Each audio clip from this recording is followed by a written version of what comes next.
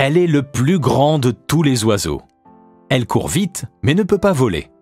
Cet omnivore vit en Afrique. Quand elle crie, on dit qu'elle gémit ou qu'elle siffle.